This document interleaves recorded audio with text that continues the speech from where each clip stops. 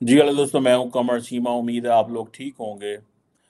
दोस्तों एक बड़ी डेवलपमेंट है कि भारत के जो प्राइम मिनिस्टर हैं नरेंद्र मोदी उन्होंने ईरानी जो प्रेसिडेंट हैं सैयद इब्राहिम राइसी अ, से डिस्कशन की है।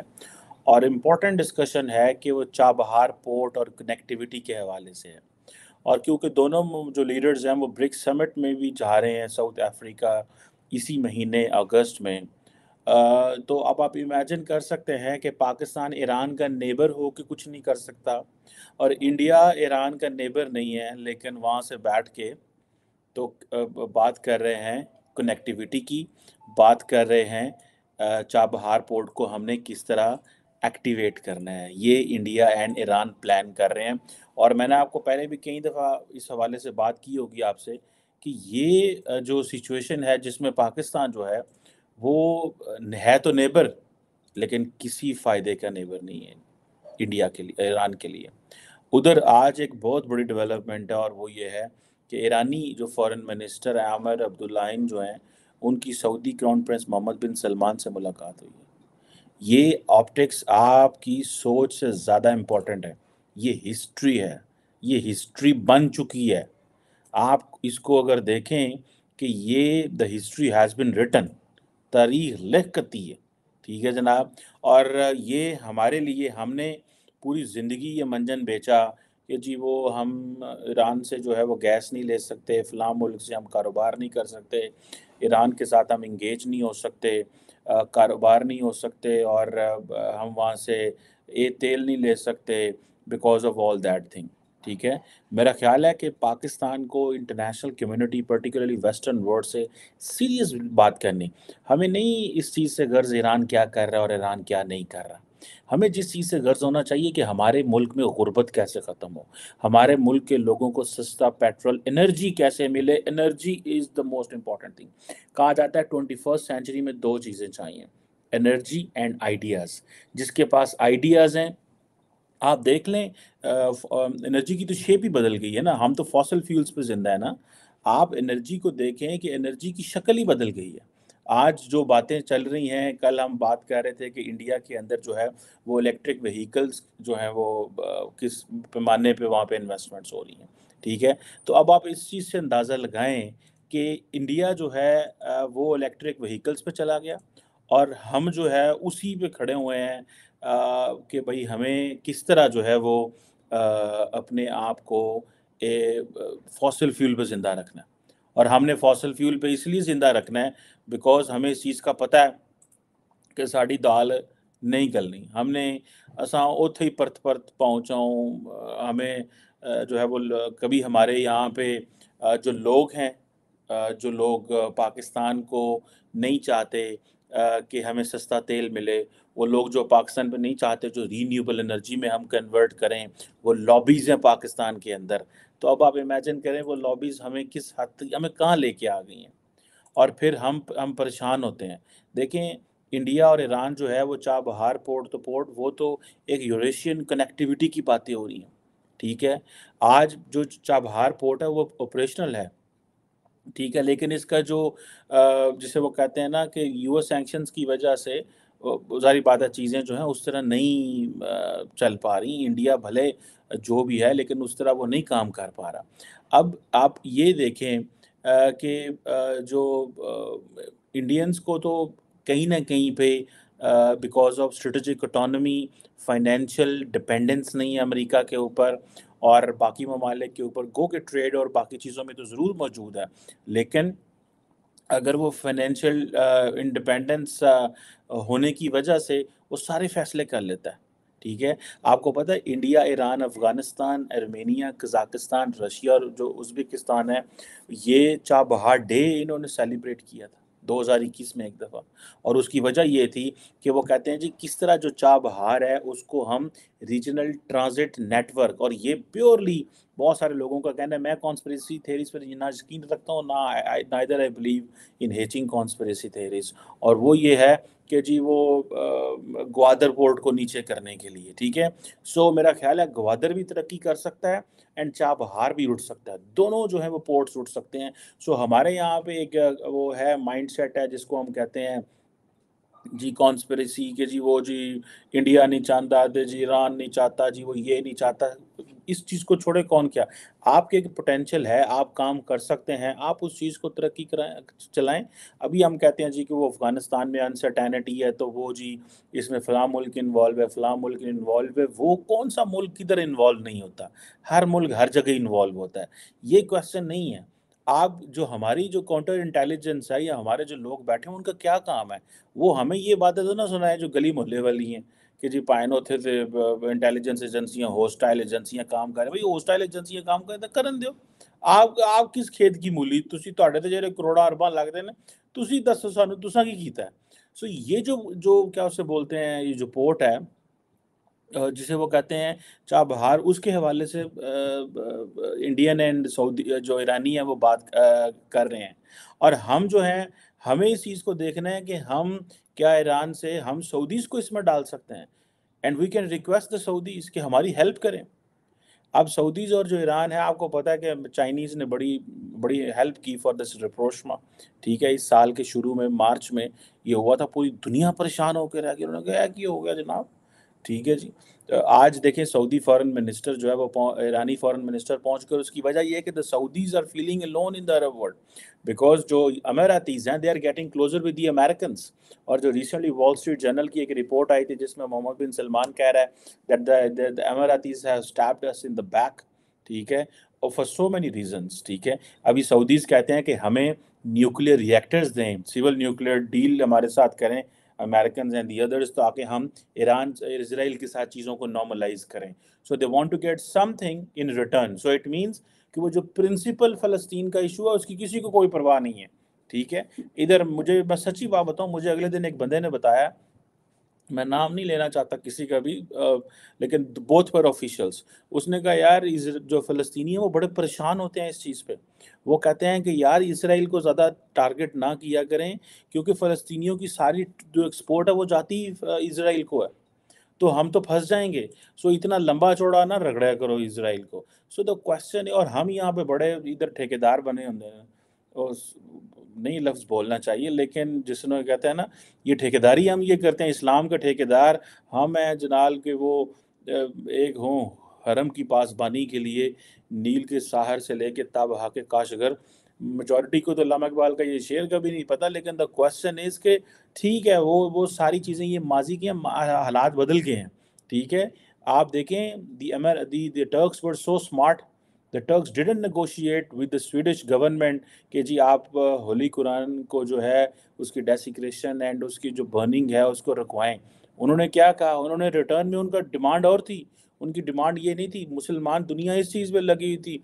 अब the Sweden wanted to be the part in in in in in NATO में जाना चाहता था।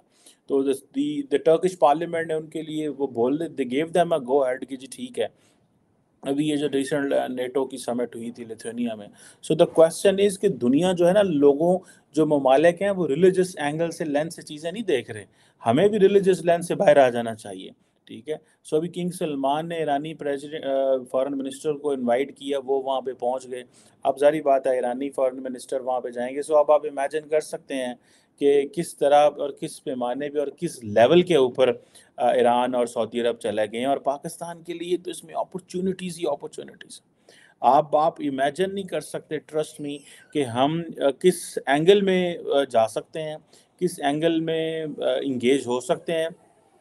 और स्टेप बाय स्टेप अगर हम चाहें तो हम जो असल तो जो इम्पोर्टेंट है, हम वो आपको पता है, इमरान खान से किसी ने पूछा किसने पूछा, मैं बता देता हूँ, नदीम अफजल चान एक पाकिस्तानी पॉलिटिशियन है तो उन्होंने कहा, खान साहब, आप ईरान से तेल क्यों नहीं लेते? उसने कहा, यार, वो सऊदी उसने कहा, मैंने समझा शायद सऊदी अरब का मसला लेकिन उन्होंने कहा, नहीं, सऊदी अरब का नहीं, ये वेस्ट का मसला है। So the question is Pakistan की जो लीडरशिप है, उसको बड़ा पता है। सो आई थिंक जिस तरह पाकिस्तान और अमेरिका के ताल्लुक जो हैं अच्छे ताल्लुक हैं, बहुत अच्छे ताल्लुक हैं पाकिस्तान और अमेरिका के। And I am very much sure कि आने आने वाले दिनों में अगर पाकिस्तान अमेरिका से खुल के बात करे, ठीक है, और कहे कि यार ये हमारी डिपेंडेंस है और हम डिफ़ॉल्ट कर जाएँगे, हमारा जो बड़ा है इम्पोर्ट बिल है वो है ही एनर्जी पे, और इसके ऊपर डिस्कशन हो, और ये जो हमारी लॉबीज़ हैं, जो सारा टाइम इस चक्कर लगे रहते हैं कि नहीं यार असा तो जो है वो अगर फॉसिल फ्यूल तेल आएगा एलएनजी कतर से आएगी तो हम इन कंपनियों को, इन लोगों को फ़ायदा होगा जिन्होंने ऑलरेडी कंपनीज़ बना ली हैं।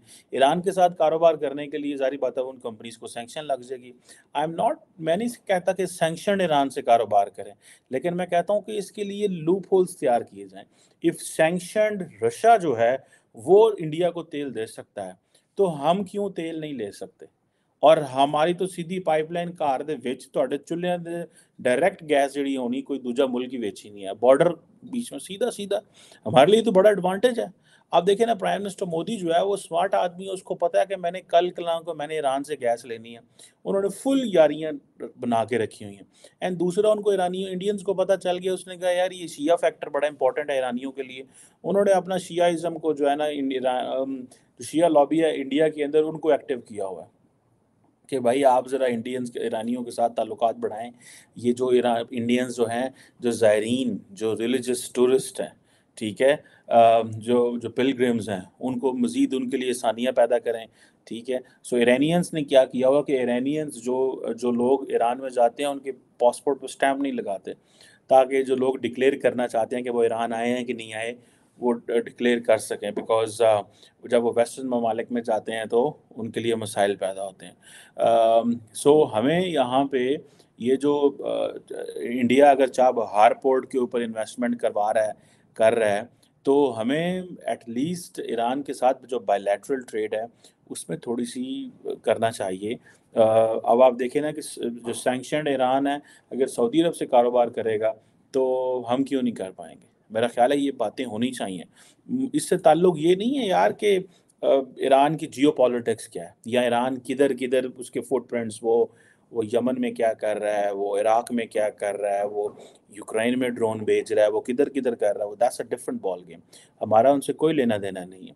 हमारा ये है कि यार हमें ये वन पॉइंट एजेंडा जो है ना, बेशक बार्टर में, बेशक जैसे मर्ज़ी, इसको थोड़ा ईज अप करें। And we that's where we need to learn from the south east कि वो माजी भूल गए और मैं आपको मज़े की बात बताऊँ, ये वो मोहम्मद बिन सलमान है जिन्होंने इमरान खान को कभी नहीं कहा था कि हमारी ईरान से सुलह कराएँ। तो वन ऑफ़ माई फ्रेंड जो कि गवर्नमेंट सर्विस में आई विल नॉट नेम किस ब्रांच में तो वो मुझे कहते हैं, लगे कि इमरान खान साहब सऊदी अरब गए तो वहाँ पे यूएन के जो था स्पीच की और स्पीच करके जब बाहर निकले तो बाहर आके मीडिया को कह दिया कि हमें सऊदी अरब के मोहम्मद बिन सलमान ने कहा है कि हमारे ईरान से मुजाकर कराएँ ठीक है? अब सऊदीज़ ने ये बात कही नहीं हुई थी। और मज़े की बात है कि वो मोहम्मद बिन सलमान से मिल के गए थे और जब वो जहाज़ वाला वाक़ हुआ तो मोहम्मद बिन सलमान और दैन फिर इमरान खान ये भी क्या है जनाब कि वो तो हम जो है आ, आ, एक टीवी खोलना चाहते हैं इस्लामोफोबिया को काउंटर करने के लिए। इमरान खान मोहम्मद बिन सलमान को बड़ा बुरा लगा। उसने कहा यार तुम किस तरह के बंदे मैं तुमसे वैसे ही जबी शपी डाली है चल ठीक है पाकिस्तानी नवा वजी अजम ज़रा इसको बताऊँ। तुम तो मेरे ही खेडा कर रहे हैं। तो इतने जड़ियाँ ना मेरे नाल ही पॉलिटिक्स शुरू करती है। आ, तो उन्होंने उनसे जहाज़ भी वहीं पे ले लिया। एक बात दूसरा उन्होंने का स्नब किया इमरान खान को। और तीसरा एक बड़ी पर्सनल सी बात है the way they treated Imran Khan once Imran Khan was in Saudi Arabia तो सुनने में आता कि M B S just met for five minutes और देखिए किस तरह हमारे लीडर्स जो हैं वो इंसल्ट कराते हैं मुल्क की। इनके अपने, इनका विजन कोई नहीं होता, इनको चीज़ों को नहीं होता। और just met for five minutes और एम बी एस का जो पर्सनल स्टाफ ऑफिसर था शायद उसको पता नहीं क्या बोलते हैं but someone who was in the meeting he told me कि भाई ये इस तरह की चीज़ें भी जो हैं वो हो जाती हैं। सो so ये अब आप इमेजिन कर लें कि हमें क्या करना है और हमें क्या नहीं करना। इंडियंस को ये समझ आ गई है कि ईरान के साथ अपने ताल्लुकात को मैक्सिमम लेवल पे ले जाओ। जिस दिन थोड़ी वेस्ट के साथ नॉर्मलाइजेशन हुई, जिस दिन वो जेसीओपी जो है joint comprehensive plan of action जो है जो, वो उसको की वजह से चीज़ें ठीक हुई तो हम ईरान के साथ जो है, वो अपना टोचन ला देंगे। ठीक है? And we will get for the gas from Iran so ये चीज़ें हैं। ये लेसन हमें हमें हमें ये सीखने चाहिए। लेकिन पता नहीं, आप देखें, अब इस इस हवाले से हमें कुछ नज़र भी आता है, या नहीं नज़र आता, या सिर्फ़ हम इसी तरह ही बस भजते रहेंगे, ठीक है? सो लेट्स सी ये ये ये एक इंटरेस्टिंग डेवलपमेंट है, मुझे तो I am very much interested कि हमारे इस खत्े में रीजनल कनेक्टिविटी हो। And I am working on that कि इस खत्े की रीजनल कनेक्टिविटी हो this should be a good time जब हम इंडिया से इंगेज करें। कारोबार आ रहे हो ट्रक आ रहे हो, जा रहे हो, लोग आ रहे हो, जा रहे हो वो दिन आएगा, मुझे लग रहा है वो दिन आएगा। बस थोड़ी सी हमें अपनी जो तासुब है, ठीक है जो वो जॉन्डस्ट व्यू है, उसको ख़त्म करना and then we have to get closer with the countries माजी को भूलना है। हम कहते थे, यार, ये अरब्स एंड पर्शियंस कभी बैठेंगे? ये देखें बैठे हुए हैं, गप्पे मार रहे हैं, हालात ने बदल दिए। जिसे वो कहते हैं ना, मोहम्मद बिन सलमान, जिसने कितना पैसा अरबों डॉलर लगा दिए यमन में और ईरानियों ने यमन में जो है वो अरबियों को मुश्किल में डाल दिया।